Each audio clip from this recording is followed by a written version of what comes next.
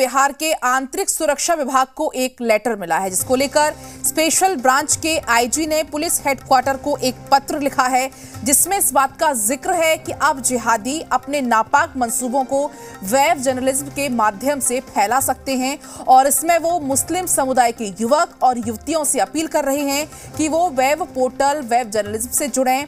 Islamic translation centre post में काफ़ी गंभीर बातें निकलकर सामने आई हैं।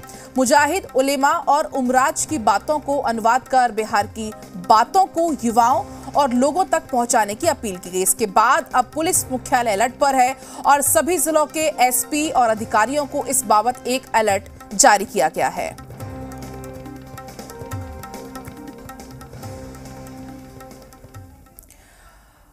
और चलिए तमाम बातचीत के लिए रितेश लाइव जुड़ गए सीधा रितेश की तरफ़ चलेंगे। रितेश जिस जिस तरीके से ये जो सुरक्षा विभाग को लेटर मिला है और उसके बाद अब स्पेशल ब्रांच ये अपने खेत में 2000 मछलियाँ पाल के हर छह महीने में तीन लाख तक कमा रहे हैं। आपको भी ये करना है इनसे सीखना है। तो फ्रीडम ऐप को अभी डाउनलोड कीजिए। के आईजी ने पुलिस हेडक्वार्टर को एक पत्र भी लिख दिया है। क्या कुछ और विस्तार से जानकारी आपके पास है?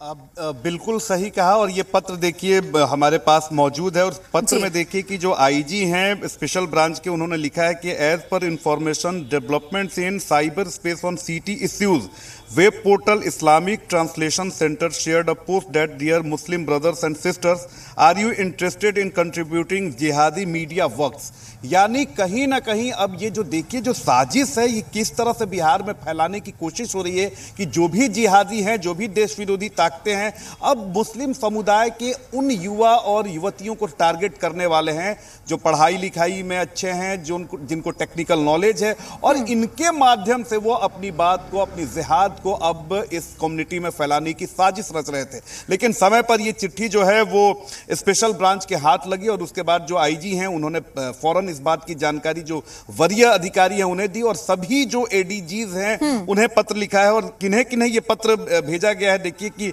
एडीजी हेडक्वार्टर को भेजा गया है रेल को भी भेजा गया है। इसके अलावा ATS OPS special branch security special branch law and order यानी सारे लोगों को अलर्ट पर रखा गया है। इसके अलावा सभी जिलों के एसपी को अलर्ट पर रखा गया है और वेब जर्नलिज्म के माध्यम से अब जिहादी जो हैं वो अपनी बातों को फैलाने की साजिश रच रहे हैं। हम्म। इसमें उन्होंने अपील की है। इस लेटर में इस बात का ज़िक्र है कि उन्होंने मुस्लिम युवक और युवतियों से अपील की है कि हम्म। वो आए और इसे ज्वाइन करें और यहाँ तक कि इसमें इस बात का भी ज़िक्र है कि इन्हें अच्छी सैलरी पैकेजेस का भी ऑफ़र दिया गया है। यानी सीधे शब्दों में कहें तो इन्हें हम्म। पैसे का भी लालच दिया गया है। वाकई तो कुल मिलाकर कह सकते हैं सही समय पर ये जो पत्र है वो हाथ लग गया। ये अपने खेत में 2000 मछलियाँ पाल के हर छह महीने में तीन लाख तक कमा रहे हैं। आपको भी ये करना है इनसे सीखना है तो फ्रीडम ऐप को अभी डाउनलोड कीजिए।